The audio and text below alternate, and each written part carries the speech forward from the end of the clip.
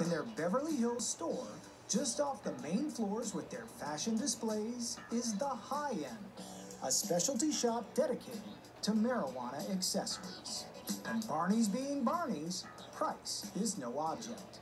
Take this unique gift set from Devambez, a French company that once made stationery for royalty. It's so exclusive, Barney's employees only handle it with gloves. You've got an $8,000 box of rolling papers and accessories. accessories. It's super special though, and it's really thought out. You get a solid gold rolling tray. Uh, also, you get a gold temper, which you use for rolling, which has uh, the shape of the Queen's scepter. Matt Mazzucca is creative director at Barney's. You know, we started with 15. We're down to four of these. Mazzucca says the national expansion of pot legalization finally reached a tipping point for the company.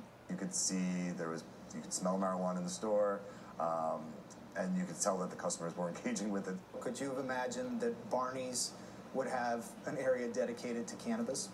Uh, no, I think that the voice that I've been able to kind of develop within this company has allowed for this opportunity to come up because, you know, our brand is based on addressing cultural shifts. With far more experience in fashion accessories than the kind used for smoking pot, Barney's needed a collaborator to help curate the product line. They found one in Beboe, an LA based luxury cannabis vendor known for their celebrity clientele.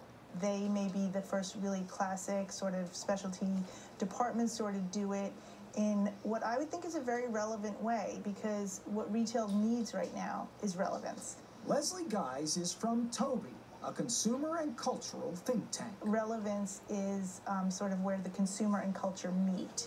And the legalization of marijuana is a cultural moment. And it syncs up really beautifully with where the consumer's interests and instincts are right now. Barney's may be the first major retailer to open a cannabis lifestyle shop, but others, smaller venues, are already catering to the luxury market, including higher standards, with outlets in New York and Atlanta. we felt there was a real need for this type of store because as legalization changes across the country, the traditional consumer is shifting. Eric Hammond is general manager of Higher Standards. Their recreational uses and recreational markets, and all of these type of consumers come to expect a much higher level of experience in all aspects of their life, and this should be no different. Jessica Cadmus is a stylist who created Rogue Pack, a luxury marijuana carrying case. I was seeing toiletry bags, I was seeing pencil cases, shoe boxes, all kinds of just sort of unsophisticated um, ways to, to hold a ritual.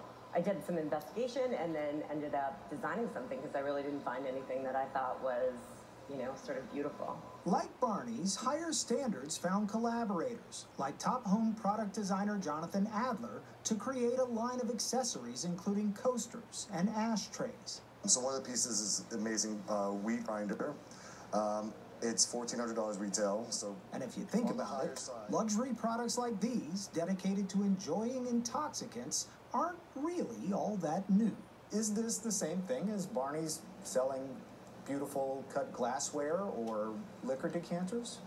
A thousand percent, especially with the culture in Los Angeles. I think people are shifting away from maybe, you know, a fine wine into a fine strain of cannabis. This is the new wine. This is, I, you know, there's so many. We did a huge exploration and survey of, of the category, and there's, you know, sommeliers um, that will, you know, advise on the best strains, food pairings.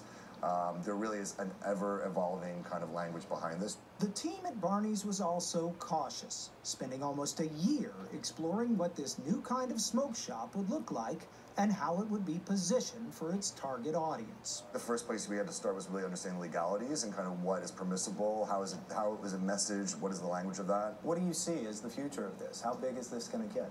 The more is accepted and the more is destigmatized, I think we'll see a lot of innovation um, within this category. The price